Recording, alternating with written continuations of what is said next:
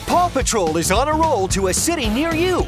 You and your kids will see your favorite pups live on stage in Paw Patrol Live Heroes Unite. Join Ryder and the pups in this interactive adventure across the globe.